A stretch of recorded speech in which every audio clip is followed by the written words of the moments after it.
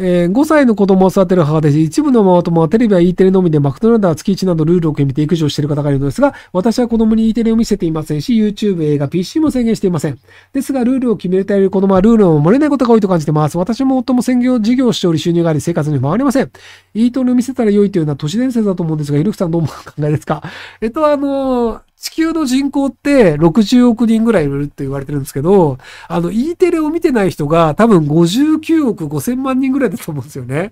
なので、あの、人間の子供が育つ上で E テレは必須かっていうと、多分必須ではないと思うんですよ。